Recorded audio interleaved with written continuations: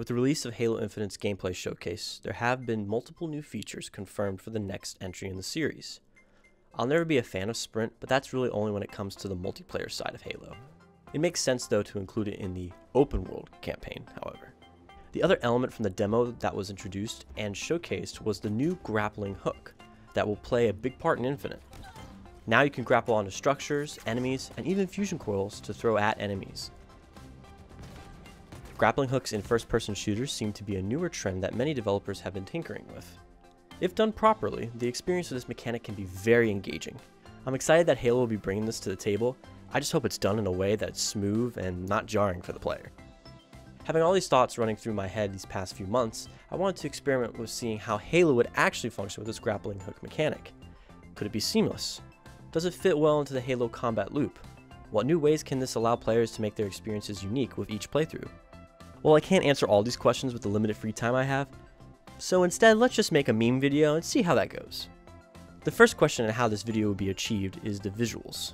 343 has stated numerous times that Halo Infinite is a spiritual reboot for the series that harkens back to Combat Evolved for inspiration. I took this as the main core of my idea, so I decided to use CE's art style. And since we all know how much I love the Unity game engine, I'm going to use that as well. Now you may be wondering why I don't just spare myself all this hard work and use Halo Custom Edition to do this video. Well for starters, Halo CE has a really old physics engine that's very uh, quirky it won't be able to simulate what I want this recreation to feel like. I also know Unity much more than Halo CE modding. I could have someone else who's way better at modding Halo CE, like Altis, who, by the way, made a Minecraft mod for Halo CE's campaign, which you guys should really check out. Link in the description. Having someone else do this would be pointless though, because I want to do this on my own. All in all, using Unity will be the best way to achieve the recreation. We begin with porting a level from Halo CE, I immediately wanted to use the second mission, Halo, as the map to use the grappling hook on. It seems the Infinite demo wanted to recreate this level as well, so that's a plus. Porting the map itself wasn't too difficult on its own. If you follow me on Twitter, you'll know that I've been porting Halo CE maps for a while now, I've gotten really good at streamlining the process.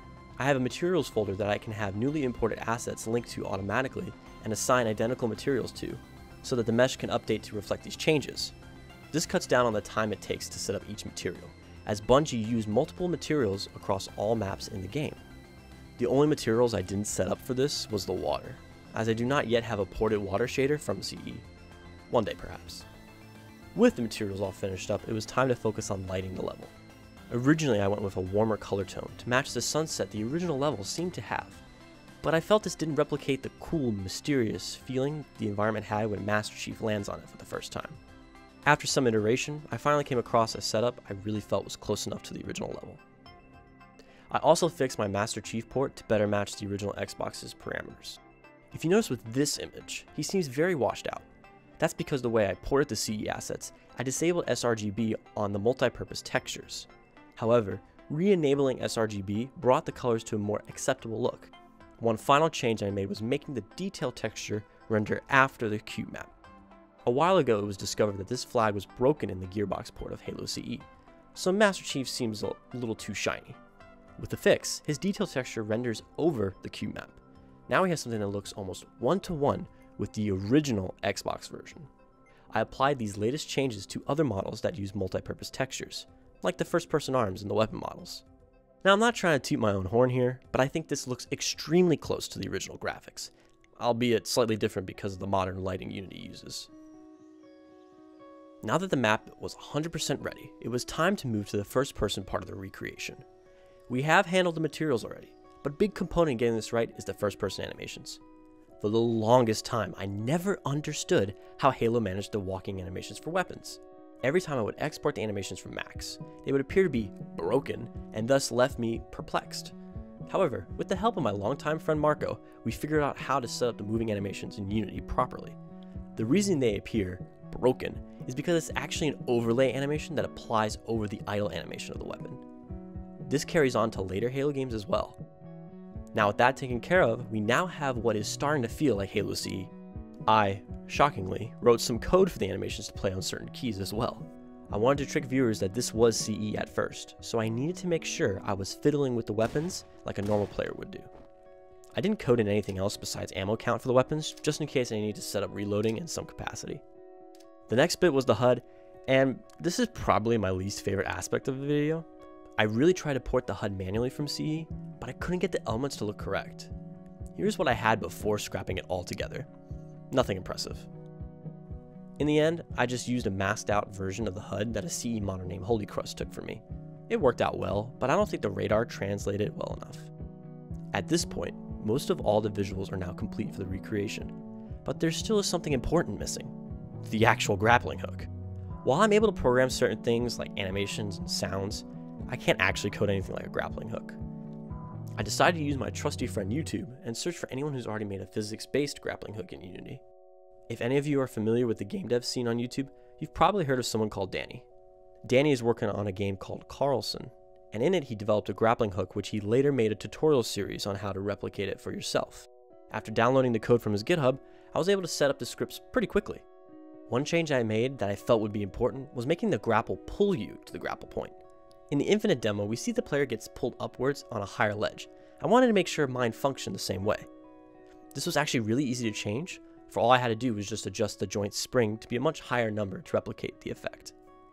Lastly, I modeled, and well, when I mean modeled, I mean I just stretched a cube around and made something that vaguely resembled a grappling hook.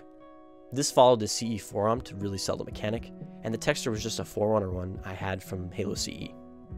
And there we go! We now have a functioning grappling hook complete with Halo CE visuals. Though, I couldn't help but feel something was missing. There needed to be something else for this video. Well, after I showed Kitty Rules my progress, he came up with the idea to have the Forerunner pillars seen all across the landscape in the Infinite demo, added to the original Halo level. It was a fantastic idea, and it really gave the video the second twist I was looking for. The pillars themselves proved to be a challenge though. While the execution was fine, the pillars material was way too smooth that it almost made it hard to see that they were actually pillars. I tried adding detail textures and changing some lighting, but I just couldn't make it look the way I had envisioned it to be. Luckily, it seemed everyone understood what they were. With everything finalized, it was time to record the footage. Normally this wouldn't be a challenge, but I am particularly OCD about how I want things achieved. I had a set of actions that had to happen in the footage, or else, in my mind, it wouldn't be believable. I would have to make sure not to press the moving keys while in midair, as I didn't program the animations to stop while airborne, which the original Halo did. I also had to make sure not to reveal the pillars too early, or the viewer would be too focused on those instead of when you grapple. But nothing compared to me messing up the swing to the top of the spire.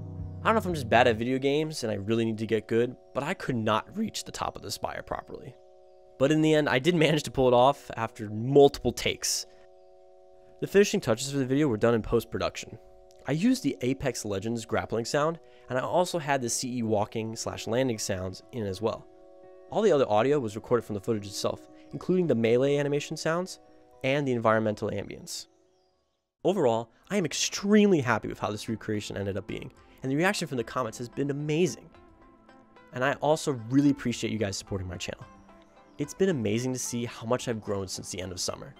Once school ends, I hope to pick up my uploading schedule again, but it was fun doing something like this in the short time I have. If you want to see more game dev, Unity, and Halo content like this in the future, be sure to subscribe to the channel. It really means a lot to me, and I can't wait to show you what I have in store for the future.